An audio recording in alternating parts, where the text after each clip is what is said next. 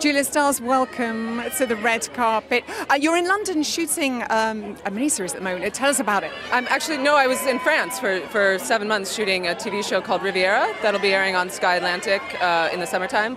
But I came to London for the weekend for okay. this. Lovely. It's just a, a popover as well, isn't it? Uh, what can you tell us about Riviera? What kind of genre? What can we expect? It's a crime drama um, about the wealthy elite in, in the south of France. Um, I play a woman who was married to a very wealthy billionaire who ends up murdered, and she inherits his estate, which she discovers is full of um, fraud and corruption, and uh, she has to figure out not only who killed him, but what to do with this mess. I'm loving it already. I'm gripped already. Um, which films have you loved this season? I mean, have you had any particular uh, favorite performances from any?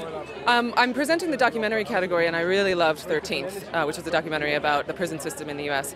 But in terms of narratives, um, Manchester by the Sea was really, really gripping. And there were some wonderful performances in that. I know, I yelped like an animal. I was so heartbroken. It's incredible. Do you think Casey can take the Best Actor award tonight? I think he could, yeah. I, I, don't, I have no idea, but I, but uh, he was very good. He was very, very good. And It was beautifully written, too. I know, Kenneth Lonergan, a very clever man. Enjoy your night. Thanks Thank for stopping you. to talk to us.